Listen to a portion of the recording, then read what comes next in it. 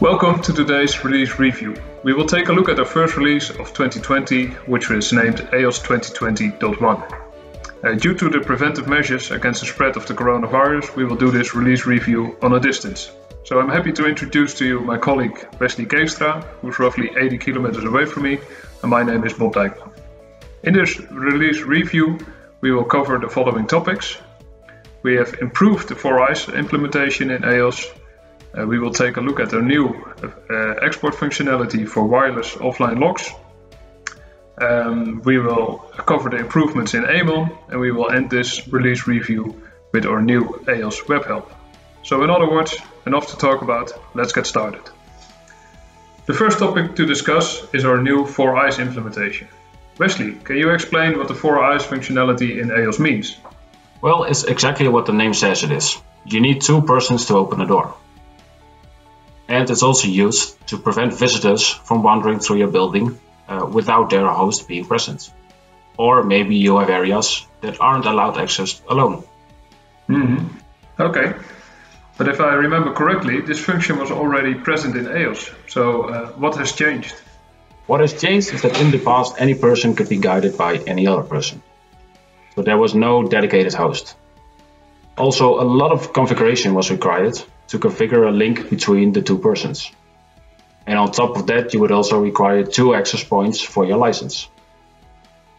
Now we have improved the ease of configuration and you require just one license. And above all, the relation between the persons is made with a simple mouse click. Okay, so as an employee, I can now only guide my own visitors. Correct. Wesley, you prepared a screencast demo for us, right? Could you please start that movie? Now, all the events, settings and host uh, configuration can be done within the AEOS dashboard. So here we see the events recently happened. And if we search, for example, Anna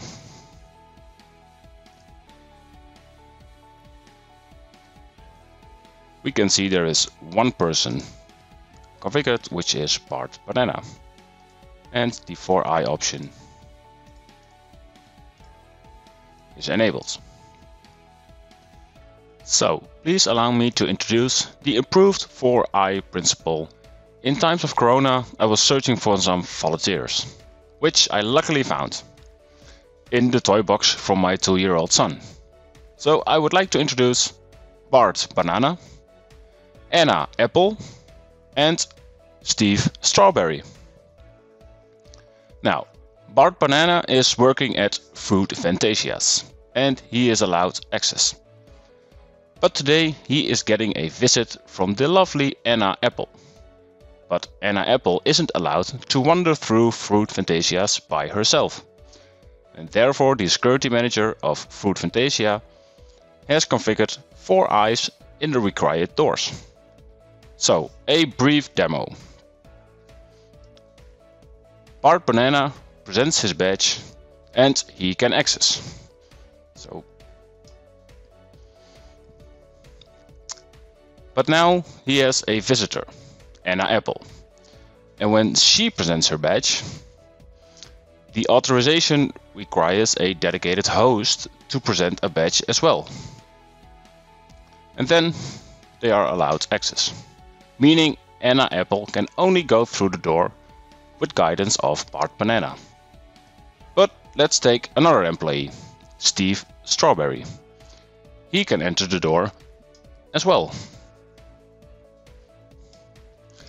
But as Steve Strawberry isn't a host for Anna Apple, Anna Apple isn't allowed access guidance by Steve Strawberry.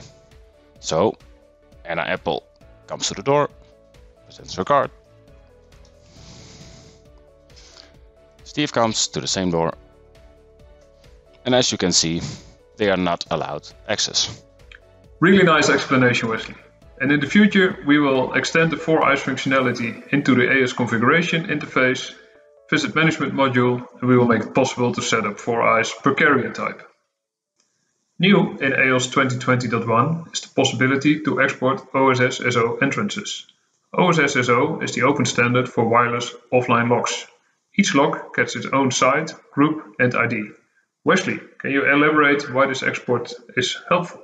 Sure. It used to be required to create the site, the group ID, and the door ID uh, in AEOS manually, and then also create this uh, site, group, and lock ID in uh, the offline lock system. Now the configuration made in AEOS can be exported and easily imported into the offline lock system. It is all based on the OSS web services, and therefore it will be compatible with all the OSS uh, compatible manufacturers, saving you the double configuration effort. Okay, that's nice. Talking about configuration effort, we also improved the usability of AEmon. AEmon is used by our channel partners to create the configurations for the controllers to fulfill the needs of our AEOS users. Again, Wesley, can you start the short demonstration you've prepared and recorded for us? So let's have a look at the AEmon improvements. In AEmon I have one controller updated to the 2021 version. And previously if you wanted to modify your configuration you had to open the properties and here you can modify whatever settings you like. So the unlock time or your direction of the door, etc. Um, but wouldn't it be nice if you have a easier way to access these properties? Well, let me show you the component property view, or for the quick techies, the F6 button. Now, if we click the door, we have direct access to whatever we would like to change within our component. So we can set the unlock time, we can set the direction, and we can deploy. Thank you for the demonstration, Wesley. This will help our channel partners with their rollouts and give them better insights in their AEmon configurations. And another new feature is the AEOS Web Help. We've asked our colleague Erwin to join this uh, release review. So thank you Erwin for joining and please could you explain us a bit more about the AEOS Web Help? So let me briefly introduce myself. I'm Erwin, one of the technical writers from Nedap Security Management.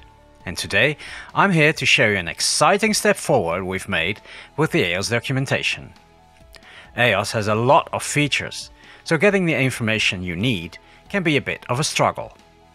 But we found a way to make this much easier for you. How? We moved from a user manual in PDF format to an online help. And this is how that will look. When you open the help, you'll see a search bar and a table of contents. You can click on topics to open them. You can use the previous and next buttons to browse through the topics in the order of the table of contents. If you're looking at this on a smaller window, most images automatically scale. When the menu disappears to make room for the smaller screen space, you can still access it when you click on the menu icon. You can choose which type of information you want to see with the filter icon.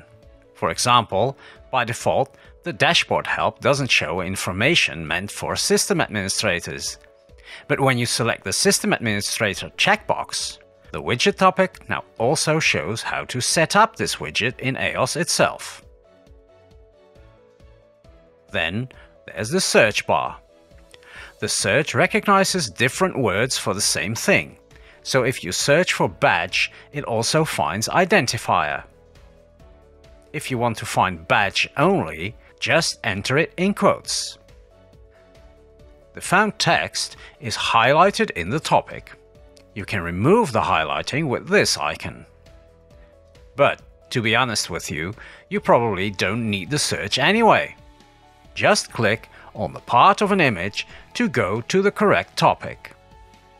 With these improvements, we're sure that you can get all the information you need quickly and efficiently. Thank you, Erwin. That looks like a great improvement for our customers. I have a question for you. Which PDF documents are replaced in the web help? That's a good question. This help replaces the dashboard and AEOS user manuals. Is the web help available for all languages? At the moment, it's still a pilot of the online help, so it's available in English only. The other languages still use the PDF format. but we plan to have the dashboard help for French, German, Dutch, and Polish ready by the next major release. Great, thank you, Erwin. So again, a very nice AEOS release. Uh, the easiest way to get AEOS 2020.1 is to enter our AEOS Upgrade Assurance program. Thank you for watching and see you next time.